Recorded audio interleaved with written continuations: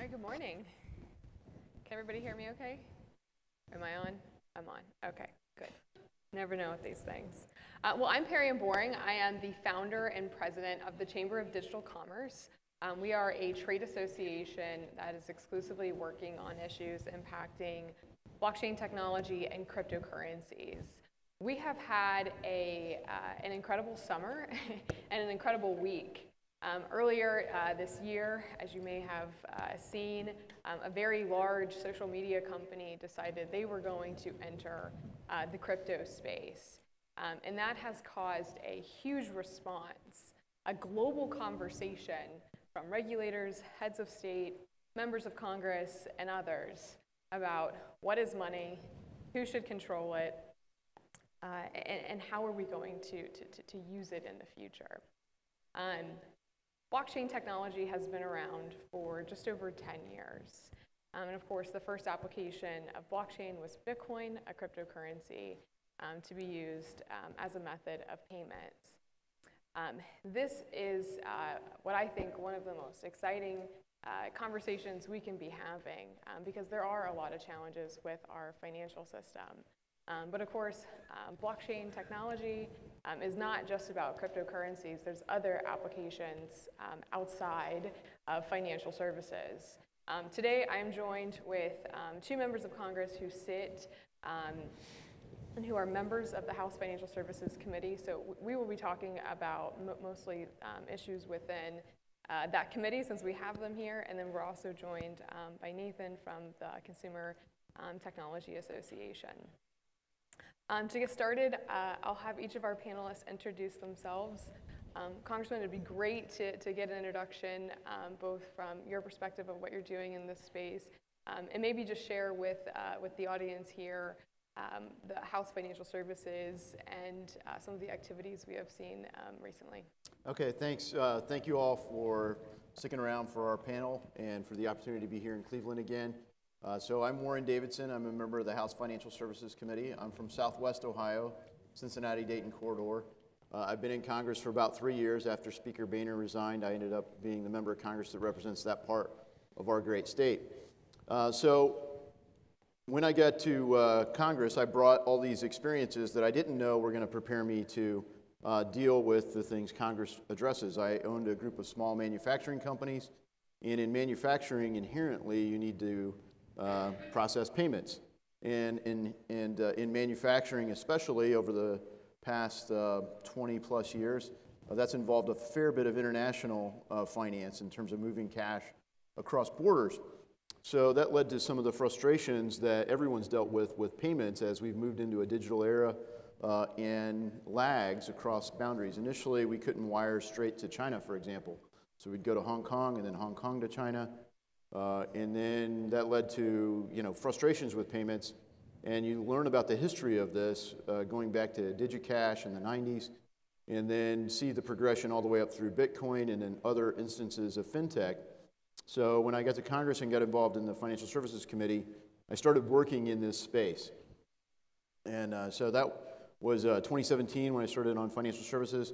But as a new member, you don't really get you know, the authority to convene. We had I thought a great chairman, Jeb Hensarling, uh, leading our committee, but uh, we had a long list of um, legacy issues from, say, the Dodd Frank era, the reforms that were implemented right after the recession. Some worked okay, some not so well, trying to fix those. And so this was down in the queue of priorities. Right. But the IC, ICO market was going on, and so um, we started having these hearings that would say, well, this is what uh, you know a digital wallet is. This is how you purchase, you know, a token and store it in a digital wallet. And that was kind of the level of uh, committee hearing we would have. And so I was frustrated with that. And you can't you can't convene hearings as a as a junior member, but you can schedule meetings. So we scheduled a meeting, and in September of 2018, we had this great uh, roundtable at the Library of Congress lots of participation, open calls for papers, and we had, you know, literally hundreds of uh, inputs from, you know, people in industry, but from universities, from law firms, from accountants, uh, you know, concerned people all over pouring uh, inputs in. And that led to the Token Taxonomy Act, which Anthony is now a co-sponsor of. It's a nonpartisan bill that offers to provide the certainty that's missing right now in our economy. So that's consumed a fair bit of my energy in fintech. Uh, and then financial services deals with everything in the market right now. Uh, Maxine Waters is the chairwoman of the committee, and uh, that shifted when Republicans lost control of the House. Okay, thank you. Great. So uh, I'm Anthony Gonzalez uh, from Rocky River, so right, right in everybody's backyard. Um, probably uh, a lot of y'all's members of Congress uh, or member of Congress. Um, but uh, for me and my interest in, in blockland and blockchain specifically, um, it kind of goes by what I really ran on, uh, which is I, I, spend the overwhelming majority of my time, 90, 95% of my time, um, working on issues specific to the economy, um, specific to the Northeast Ohio economy. Uh, I am somebody who believes that um, for us as a region uh, to really prosper and take ourselves into the next decade, two decades, um, we need to, to help rebuild uh, a more diverse economy uh, generally. And, and that means diversity on a lot of metrics, but, but by industry as well. And so I think you know, we will always have tremendous health care here in, in Northeast Ohio and, and, great healthcare assets. We will always have uh, great financial services assets. I see the, the KeyBank table up front. Um, we have the Cleveland Fed uh, and all, all different um, insurance companies and whatnot. Um, I believe that blockchain technology, generally, not just in the crypto space, but generally, uh, provides us an opportunity uh, to latch onto an industry that absolutely will grow. This isn't a, an if question for me, it's a when and where. Um, and so, if, if we as a region um, embrace the technology and really put in the work, uh, I believe in our ability to lead. Um, and so, uh, that's been a perspective that I've had for years. Um, and, uh, and then to see um, all the energy around this, uh, this conference, both last year and this year, um, and, and, some of the development take place uh, has been really exciting. Um, and uh, and as, a, as I've gotten into it as a new member, I was first elected in January. Um, similar to, to Warren, I think I, I found um, some frustration generally with respect to uh, how we approach governing and, and, regulating in this space. Um, and, uh, and as a result, we're seeing a lot of things that we would not want to see. So, as a, as a transformative technology um, for the future, we're seeing it actually leave our shores and go to places like Singapore and, and China and, and places that, uh, frankly, we don't want it to be. We want it here. We want to develop and lead here in this country and in this region. Um, and so we have to get it right. Uh, and, um, and as a member, a freshman member in the minority, um, that has taken the form for me of, of working directly with a lot of our regulators. Um, I'm on the Token Taxonomy Act, which, which Warren has, has spearheaded uh, for the last couple years. Um, but, but in the meantime, uh, my question is what else can we do outside of the legislation or extra legislatively, if you, if you will? Um, and that, uh, to me, pushes directly into the regulatory environment. So I've, I've been spending a, a good bit of time there just trying to get certainty um, for our market uh, so that we can develop here in this country. So you see this as an economic opportunity for Ohio, but also the entire country? Absolutely, 100%. Um, I mean, like I said, it, this is this is an, F, an if not when, or this is a when not if. Um, so uh, it's happening, it's here. Uh, right now, the, the regulatory regime seems to be um, holding to a strategy of fear. Uh, there's somebody said at some point, hope is not a strategy. I don't think fear is either. Um, and so uh, we need to be to be very thoughtful about um, how we're developing and allowing innovation to take place. We shouldn't run from it. I understand it has challenges. That's fine. Um, we figured that out for every other piece of technology. This will be no different uh, if we have the will to do it. Thank you. And Nathan, would you introduce us to the CTA and your work in blockchain? Sure. Uh, my name is Nathan Trail. I'm from the Consumer Technology Association. CTA is a trade association which supports the $398 billion U.S. consumer technology industry, uh, which also supports about 18 million U.S. jobs. We have about 2,400 member companies. Um, 80% of those are small businesses and startups. The rest are some of the world's best known brands, and we got involved in this space because a lot of our companies, from the large companies that I said are household names to small businesses, are really innovating in this space and looking to utilize blockchain uh, to enable business functions in pretty much every form. Um, I work on mostly state and local issues, and what I saw um, several years ago was that states are enacting several different types of bills. I think so far, since 2013, there's been about 230 individual blockchain or digital asset bills. Um, last year, I think about 64 alone, about 20 have passed. So what we're trying to do at CTA as a whole is to create a regulatory and legislative environment for these innovative companies, our member companies, to grow. Um, and it's hard to do so when there's different laws and regulations for this technology from state to state. So we're really looking to promote innovation. So what I've been doing for the past several years is traveling around the country working with state legislators interested in this technology, talking to them about what they can do to help promote blockchain technology. Uh, we can get into the types of bills we've seen in the past, but we've really been working with a lot of the advisory committees in individual states making sure that if they are going to introduce bills that they're helpful to blockchain digital assets and helping them thrive. We've seen that in Wyoming. We've also seen examples of bills that, although well-intentioned, maybe didn't um, hit the mark. Maybe they conflict with federal regulations um, or they create more confusion. So in all forms of technology, including blockchain, we're really trying to create a landscape that our member companies can thrive using blockchain. Thank you, Nathan. So why don't we start, Warren, with you? Uh, you have really been uh, an inspiring leader in U.S. Congress for the blockchain space. You're a member of the Blockchain Caucus, and you've um, led uh, the, the, the, Token Taxonomy Act. Um, what one, um, if you can give us an overview of the bill and what it accomplishes, um, and two, what are your goals with this piece of legislation? Yeah. So thanks. So when we when we had our um, roundtable, the goal was really just to listen and find out, you know, what is it that everyone agrees on. And so you think about it as a tree, uh, you know, you start with the roots, you got to have a good foundation, and it goes up, and at some point it starts to branch off, right? So we wanted to get up at least to where the branches start diverging. So, well, if I want to do this, I go that way. If I want to do that, I go that way. Common denominator all the way up to as far as we could get. And that's what we created in language. So the biggest thing is, you know, the, the SEC is going about this with a patchwork of enforcement mechanisms uh, you know, as Anthony said, you know, uh, fear. You know, we're just going to scare you. Uh, and look, we don't want fraudsters, but the, the, legitimate players in this space are working to end that fraud. And normally, uh, Congress is anxious to regulate something. And I've been able to help make this bipartisan by pointing out to Democrats in Congress, you finally found a Republican that's for regulating something. You should take me up on it. It's a, it's a pretty light touch that I'm looking for. Um, and it's really the, the, the uh, SEC's got this um, Howey test that defines what's a security. And it's, I mean, it's outmoded. It's a Supreme Court decision that applies to oranges and orange groves. Yep. And, uh, and so we said, well, okay, if you take that framework, you can't completely gut it, but you have to at least make it relevant to what we're talking about. So we created a definition for a digital token that would be considered not a security if it meets four criteria.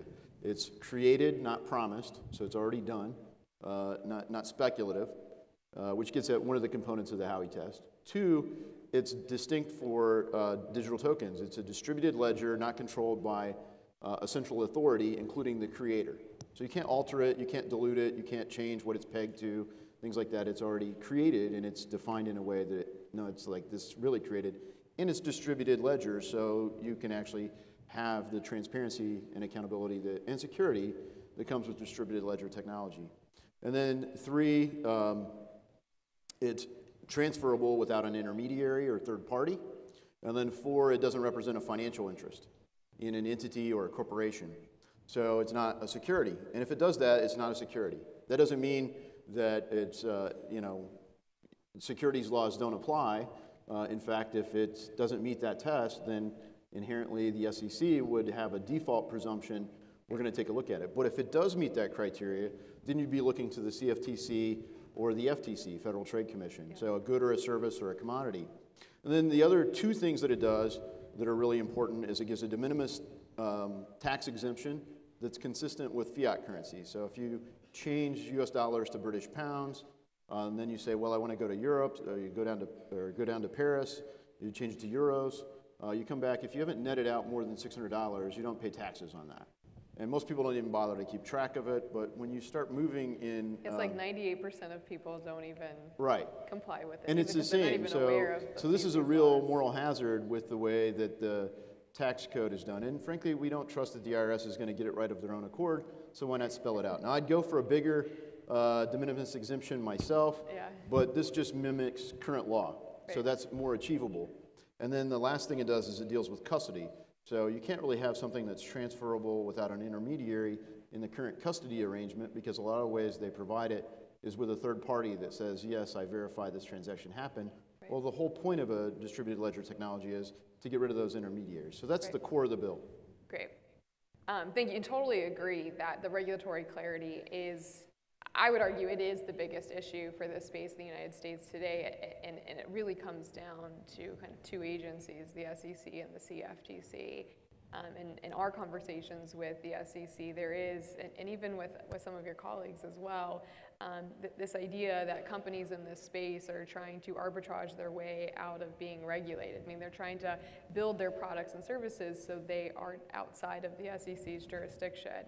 But it's, it's, it's funny because that does not mean they're not regulated. It doesn't even mean that they're advocating to not be regulated. They're just saying they're not uh, going to operate, or th- these types of projects should not operate within the securities regulation. Right, and a lot of times they're not leaving the United States to uh, avoid our regulations. They're leaving for countries that have regulations. They're leaving for places that have certainty Right. in law because then they know how they're going to be treated and regulated, not just regulation by enforcement. Right. And, and so what, what, what, what is the future of this bill? What, what does the legislative process look like? Well, uh, you know, while capital is being scared off by the status quo, Congress is anxious to preserve the status quo. Uh, so that's disappointing. Uh, and, and frankly, the biggest opponent of uh, the entire space is a congressman from Los Angeles, Brad Sherman. Uh, and when Democrats pick chairs of their subcommittees and committees, they go entirely based on seniority. So, due to Elijah Cummings passing away, uh, Carolyn Maloney left our Financial Services Committee to be chairwoman of uh, Oversight, which left an opening on the Capital Markets Subcommittee. And that moved Brad Sherman, who was the next most senior Democrat, into the chair of that. So he's incredibly boastfully hostile to the space, uh, and his subcommittee would need, would need to sign off on it if we follow the default process. Now, that doesn't mean Chairwoman Waters couldn't just tell him this bill's moving, and it will, uh, but it, it's a pretty big setback in the House. Uh, over in the Senate, though, we now have uh, the former CEO of Bakkt uh, appointed to the Senate, uh, and uh, we know she gets the issue. So hopefully we can try to have some momentum in the Senate that hasn't really been there yet. But this bill moving in the House right now is prospects aren't great. So, however, Patrick McHenry, who's the ranking member as a Republican, uh, supporter, agrees in the space. He's got a couple tweaks that he wants. Uh, so he's not a co-sponsor. He wants to make a small amendment to it. Um, but that would move if he were chairman. So I'll be rooting for a, ma- uh, a Republican majority. What a surprise, right? Yeah. But uh, for, for many reasons, but for this bill, that's really the only path this bill has to go forward. Right. And, and what is the um, amendment uh, Chairman McHenry is looking at? Well, I'll let him speak for himself he's, uh, for his ideas, but he does have a couple concerns, and he's got a small amendment. He's told me that he would like to change, but he likes the overall framework and the momentum. Sure. Um, Congressman Gonzalez, maybe we'll, we'll- we'll ask you about the, the next piece of legislation. So there's been a couple of hearings um, in response to Facebook's uh, Libra project. Uh, most recently, Mark Zuckerberg came and testified um, in front of your committee, and, and part of uh, that was the discussion of a couple bills that have now been introduced into law. Um, the one uh, that's most concerning uh, to us is this Managed Stablecoins, um, our Securities Act. Um, would be interested in, in your thoughts on that bill, um, which would effectively ban a subsect uh, of stablecoins because it would consider them securities, meaning Right. they would not be able to operate as their creators intended to as a payment uh, mechanism. So, uh, kind of, what is the general sentiment based on the, the Facebook hearings and um, thoughts on on this bill? Yeah, I think, so on the Facebook hearings in general, uh, I'd say there was one good thing that happened, which is it forced our committee and much of the country to really take a look at this space uh, in a more thoughtful way. Um, and, and so that was a positive. Uh, unfortunately, what we saw, uh, and maybe this isn't surprising, um, is some, some bad pieces of legislative ideas come out of that. Um, one of those uh, being the bill you just cited. Um, the, the good news is I, I don't see that having any path. Um, I really don't. Uh, I mean, I've, I've spoken to, to other members on the committee, um, and there's just not an appetite for it. Um, th- but, uh, but I will say that um, generally speaking, uh, most people didn't, lo- and I would, I include myself in this, um, didn't love the notion of what the Libra project was all about um, and, and how they were trying to go about it. You know, my understanding, based on the Token Taxonomy Act, uh, is that the Libra Association and the Libra Project um, would not pass the, the Token Taxonomy Act test, right? Because it's controlled essentially. Um, and so, um, you know, that, that sparked an interesting conversation. Um, that's why, again, why I've kind of gone in, into the path of, well, let me work with the regulators. Because when I talk to the companies themselves uh, who are innovating in this space, what I hear isn't, hey, we don't want to be regulated. What I hear is, we actually want to be regulated, but we want to be regulated in a way that's thoughtful and that provides the certainty that we need. Um, so, where I've been trying to help out uh, is with the SEC. I've met with each of the commissioners um, and tried to just make that pitch, and, and they're split on it, um, admittedly. Um, but, uh, but really, I, the notion that you're just not going to provide clarity at all and scare companies out of this country and, and push them overseas, um, I think is just a, an insane uh, position to take, but that seems to be what we've done. Um, and, you know, so that, that's where I'm going to continue my work. And again, I, for whatever reason, I, have decided it might be easier to convince a handful of SEC commissioners than the 435 members of Congress. Um, I may be proven wrong in that, but that's, that happens to be the path that I've chosen um, based on the Facebook hearings, but, but all the follow on um, and just looking at the space generally. Yeah, so we, uh, we heard that, that this bill, this managed stablecoin bill, was um, going to be um, on the calendar to be marked up this week. Um, and, and, now, now it's not, so crisis averted um, for the time being. Um, any insights to uh, uh, the, the, the, process and, um, and if, if it will move uh, to a markup later on? You know, it, it very well could. Um, you know, and, and, here's kind of the thing that frustrates everybody about Congress, which I'll, I'll give you insight into. A lot of what we vote on, both in committee and on the House floor, breaks on pure partisan lines. Yeah. Um, that particular one has one Republican sponsor, but I don't I think he will be the only Republican who would vote for it, um, would be my guess. And so if, if, it has a path, maybe it gets out of committee into the House floor. Um, but I would say there's a less than 1% chance that the Senate takes it up. Um, so, you know, that, that could happen. And wh- why is that? You just don't see a, a, champion to take it on?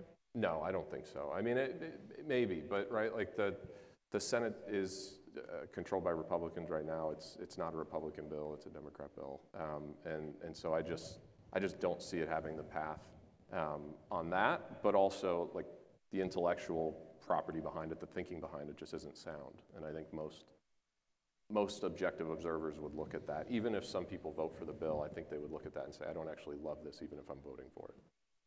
So. Yeah, interesting. Yeah. yeah. the number of people that really understand the issue in Congress is small, but as Anthony it's highlighted, like yeah, it's not a big population, yeah. but the number has gone up dramatically since Libra. And, and so some people are just reacting to you know fears about how Libra was structured without having a thoughtful hearing about the entire topic. Right. So that's what we're pushing for. Where you know, frankly, some of the bills that were noticed for markup next week or this week now um, would have been at odds with the Token Taxonomy Act. And while I, I highlighted the prospects look a little grim in committee for this bill, given Sherman's uh, rise to subcommittee chair, mm-hmm. um, it's a 100% bipartisan bill. I mean, so we've got Tulsi Gabbard and Eric Swalwell on the left, uh, Darren Soto, Josh Gottheimer. So it's a balanced bill between, it's not a partisan topic. And even at the, the conference we had, you know, people in the space aren't overwhelmingly Republicans, uh, and they're, they're highlighting you know, concerns about, well, why is it this way? Why is it working this way? And it's just not something that is partisan. It's a, do you understand it this way or that way? And, um, and, and, and the bills that Anthony highlighted really are partisan bills. They're not meant to be collaborative. And so we need to have a real hearing where the body, and this goes to how Congress works. You have the witnesses sitting down below, and Congress gets their five minutes, and we're not even all in the room at the time. And uh, what we really need is post those dialogues to sit down and face one another and have a real discussion about whatever the topic is. And uh, to her credit, Chairwoman Waters offered to do that on blockchain. Uh, however, committee staff below her has been uh, dragging their feet on getting that scheduled because it's so different than what we normally do. Right. So, I, mean, you, are both saying that this uh, managed stablecoin bill is a partisan bill, yet it, it does have a Republican co-sponsor on it. That, that's uh, Congressman Goodens from Texas. H- how did he end up on this?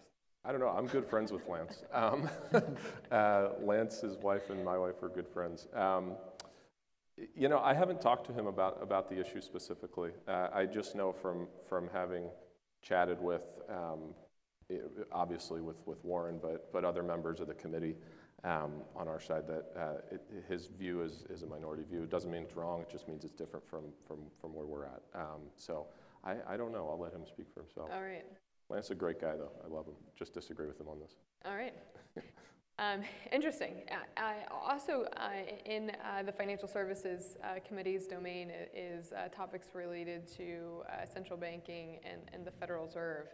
Um, just recently, uh, the former chairman of the CFTC, Christopher Giancarlo, um, AKA, uh, was named uh, Crypto Dad by Twitter after uh, being a staunch av- advocate for, for this space.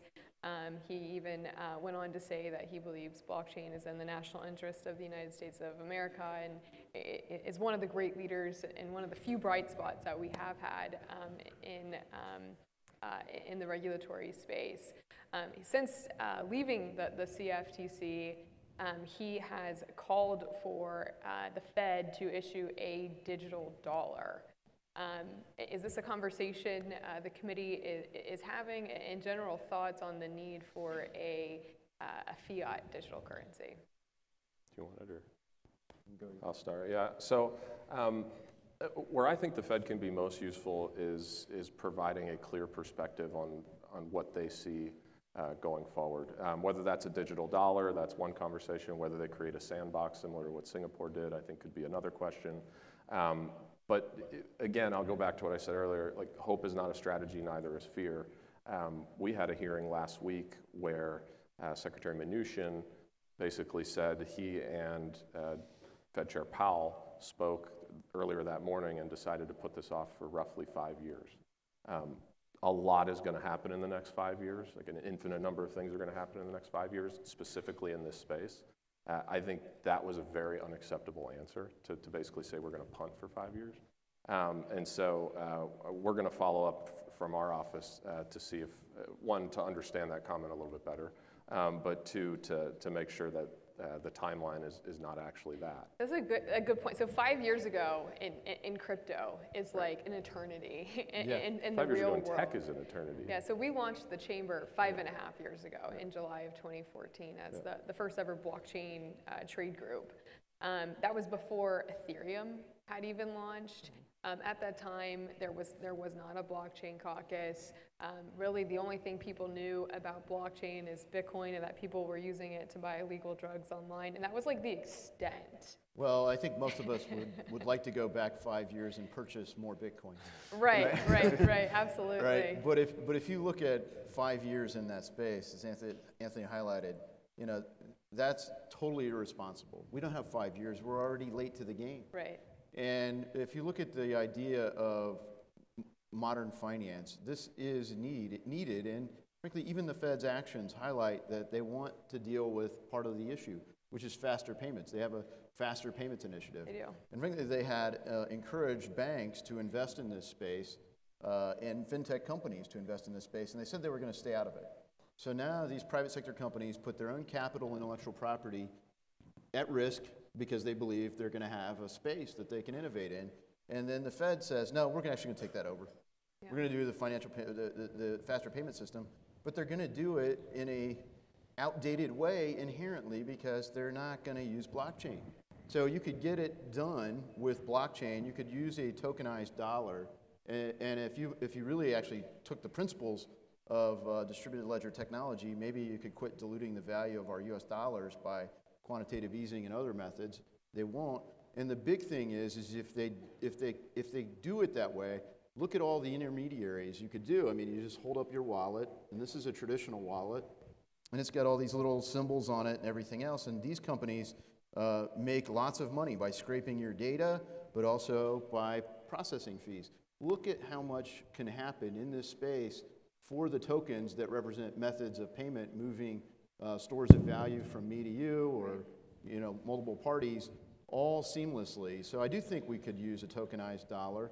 Uh, but my fear is that if we don't deal with restoring privacy to our financial lives, uh, as the Fourth Amendment is supposed to provide and does not currently in banking, that we really run the risk that, frankly, Libra's launch highlighted the fear that everyone has that if Facebook, who who has all this data about us, begins to filter financial transactions the same way they're filtering content, that gets a little creepy. You're like, wait, I, I could give you $20 for whatever we agree right now without an intermediary. Facebook's, Facebook's going to be the intermediary? Well, I'm not really sure I like that. Well, it gets even creepier if it's the central government, right? And, and so that's really the experiment China is trying to go down.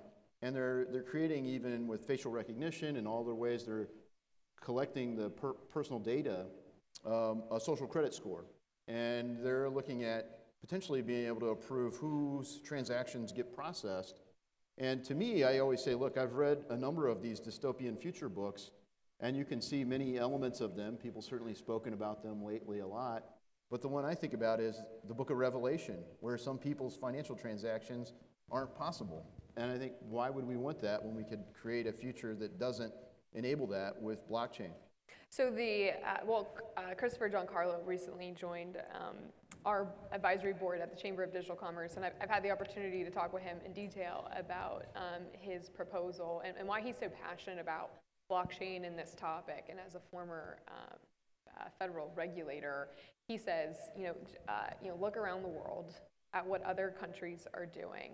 Um, if we just take a second, just just to, to dive in, in, into China, they are, um, they have been building their central bank digital currency project for over five years, and they have um, uh, uh, applied for over 70 patent applications on this project. I mean, I don't even know if I, can think of another product that has been brought to market where we've put, you know, for 70 patents have been applied just on that one system. I mean, this is of, of absolute magnitude. Um, and the fear is that we have uh, other nations around the world that are actively attacking the United States dollar and the world reserve currency status um, by trying to build something better, faster, cheaper, stronger, more efficient, all of the above. Um, and that by the lack of action on behalf of the US government is effectively ceding our national security to these other nations. Um, Specifically that one. the, the, the yeah, so the, the national security conversation of how high the stakes are if we don't act and, and what the, the, the real threat is. Um, so I, I, I do think that there, there is an argument to be made there. Um, but also, what's so great about the United States of America is our private sector and having the private sector lead the innovation. Due to the government's lack of inaction in this space, our, our private sector has stepped up, and, and there is a lot of uh, a- a- amazingness happening all throughout this space, and, and stablecoins kind of being one of those that, that really directly correlate with this idea of a digital dollar. Um, but if we don't have a regulatory environment that promotes and supports the private sector's innovation, um, that will go overseas. And both of you guys ha- have talked about that. And what should the United States government be doing to ensure that we are the leaders? Not just so you know we're, we, we have the, the, the world reserve currency um, status preserved, but beyond that, um, how, how can we be leaders in blockchain? Well, I mean, you highlighted a huge issue for me, which is the US China relationship broadly, right? Like, I think the biggest existential threat we have as a country uh, is what happens with China and how China grows up as, a, as an international country uh, or as an international economic power. Yeah. Um, I think technically speaking, the, the Chinese version of, of, a, of a yen, a digital yen, will probably be a permissioned, uh, not permissionless, which means uh, that the Chinese government will have all the access to that data, right? And we'll be able to, I would imagine, will be able to and will uh, look at it and use it in whatever form or fashion they want. Um, that should create some urgency for us. That's something that should scare all of us. I, I don't believe China is going to displace us as the, the world reserve currency, um, uh, certainly not in the near term. Uh, but I do believe um, that if we allow them to take the lead on this specific issue, uh, that it creates a whole host of uh, security challenges, generally speaking, Right. um, just because they're going to have ownership over that data, ownership and control. Um, it's a huge issue. It's one we shouldn't sign up for or uh, help facilitate, but by our inaction, uh, we have in fact done that. Um, Mark Zuckerberg highlighted that. It was one of the few things he said in the hearing that I think was correct. Um, and so, um, you know, that's something that we need to, we absolutely need to keep our eye on. Yeah, totally. In terms of, uh, you know, we need to take action. We need to take action in a way that um, is forward-looking, not preserving the system we have today, which frankly a lot of countries resent. I mean, we use our power uh, to shape markets around the world with sanctions, and that's a that's a valuable tool. Uh, we use the fact that we have the reserve currency to monitor every, spy on everyone's finances, uh, and FinCEN does that for us as a country. In a way, it keeps us safer, but the future is actually going to have a large portion of its economy around the planet that is different than that, that is truly distributed, that there is privacy. And that's not the same as secrecy. You know, we've solved things like Mt. Gox as a country. Uh, you know, people have solved these cases because the distributed ledger does provide public key. So you can look at um, where things go. So there's not true, true secrecy.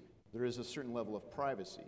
And that's the way our country was founded. And I think if we go back to those roots and uh, on, on civil liberties, and yet we look forward to the future and technology, we really can do that. And I think we could actually go a long way uh, by dealing with our own monetary policy problems, which is actively destroying the value of our money Yeah. uh, through broken fiscal policy, spending more than we have, and monetary policy that's enabling it with quantitative e- easing. If you take the core logic of Bitcoin, Bitcoin was created to address this.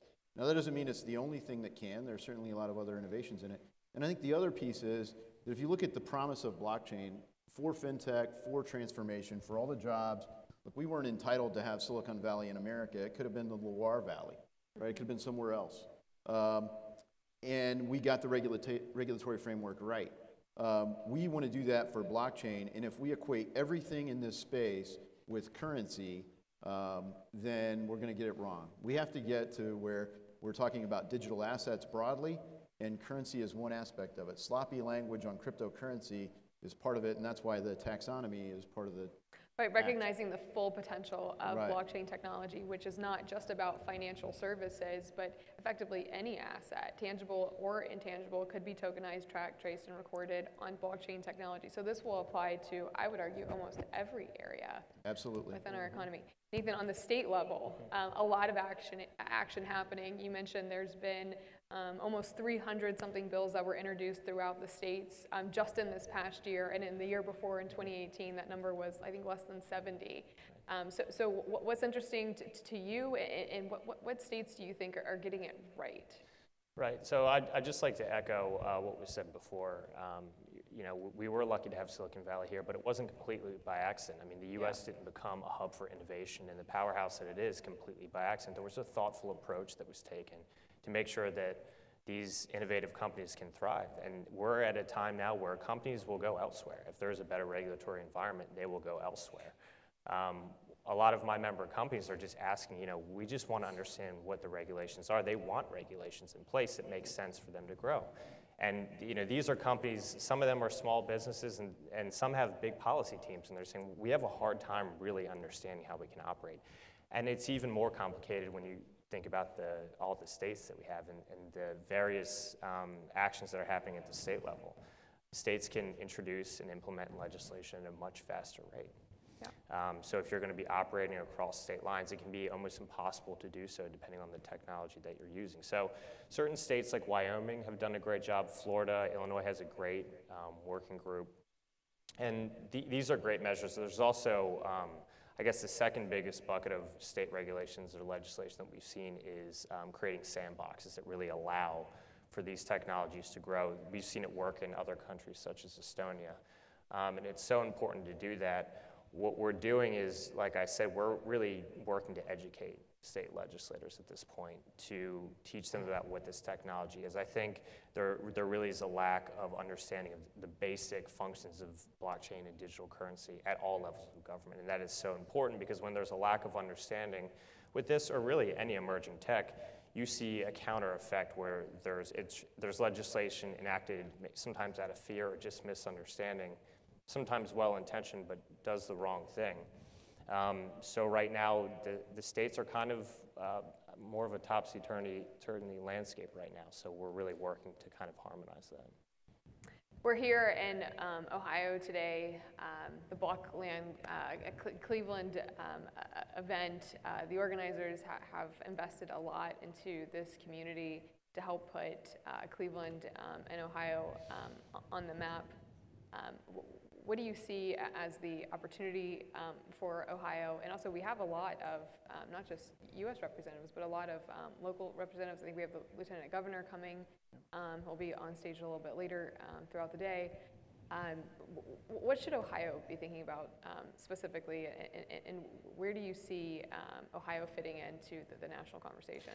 Sure, there's some incredible companies here in Ohio, and, and there's no reason um, Ohio can't be the leader in blockchain technology. It's really important to foster um, innovation. I, I really what I recommend the legislators in Ohio do is work with the companies that are innovating in this space and ask them what they need. Um, there needs to be a dialogue, and industry really needs, also, industry needs to step up and be more vocal to our legislators. I, I think that's absolutely needed. But if there is going to be new introduce, in legislation introduced, it needs to be with a consultation of industry. So I think if Ohio wants to continue with the path that they're on, um, they need to work with the innovative companies that they have here in their home state to make sure that the legislation is helpful. Can I comment on that? Of course. Yeah, so um, this was uh, a, a big topic of conversation for a, what I called a field trip um, that we led uh, out to Silicon Valley. Bern, I don't know, Bern, I'm sure Bernie's in the audience somewhere. Um, but um, it was Bernie Moreno, myself, uh, Case Western, Cleveland State, um, and uh, some other entrepreneurs from the area. We all went out and met with, did a crypto roundtable, and then met with a handful of companies um, out west. And I um, had some contacts out there. And we, we sat down and asked that exact same question How can we lead? What do we need to do? Um, doing exactly the approach that was just recommended, just ask the companies, What do you need? Um, and the immediate response was uh, bank charters. Um, having bank charters, a favorable bank charter uh, environment, uh, could be helpful on that front. Um, and so since then, we've been working um, with uh, Governor, Lieutenant Governor Husted's uh, office and, uh, and some other folks across the state to try to help kind of glide that path. Um, I will say this uh, Lieutenant Governor, I, I, believe, and the governor are doing an incredible job um, in not just in, in blockchain, but, but innovation broadly. Um, and I'm really excited to see the work that they do. But I, I, I know that the, the message that you just gave uh, is well received here in Ohio. And so I'm very optimistic. And I think you know, regionally, uh, the question for us is are we doing what we need to do regionally to make sure that those jobs are here and not Columbus or Cincinnati or wherever? Yeah, yeah, very similar on the same topic. Um, you know, Jobs Ohio, huge resource for, for Ohio, and they're doing a great job of recruiting companies and making sure they have the tools to be competitive as people are looking at launching uh, or relocating. Uh, Jobs Ohio is a great tool for our state, and, uh, and so I'm impressed with JP, JP Nauseef, who's now the leader of that, and the team there met with them talking about uh, this space and others. And I think lastly, to Anthony's point, highlighting even the people that he had on his trip, you know, the educators. So we meet with, even with our high schools to talk about, um, you know, not just STEM, but like this space in particular. Uh, because if you look at later in the week when we talk to cybersecurity, just, just in Southwest Ohio, we have 4,000 open cybersecurity jobs. And when you look at what does cybersecurity better than blockchain, you look at this, it's so secure that people trust that it's worth roughly $8,000 to put into that secure space mm-hmm. uh, on Bitcoin, as an example. And it's a belief in the security of it. Absolutely. Well, Ohio, you're incredibly fortunate to have Congressman uh, Warren Davidson, Anthony Gonzalez representing um, you in Congress. We have two, uh, there are uh, not a ton of folks in Congress that really get this. Um, but two here who um, have really taken the time to make that personal investment to really understand what this is all about. Not just understand it, but also to lead by example. And these are incredibly important conversations that we need to be having here in Ohio, um, but also in Congress. And, and thank you both um, for your leadership and for your support. And also thank you um, to Nathan and the CTA um, for your interest in blockchain. Uh, CTA is a massive force to be reckoned with, so it's wonderful to see such great other organizations that are taking the time to to, um, to understand this and to get this right. Um, help me thank our panelists for joining us for the discussion today. Thank you. Thanks a lot.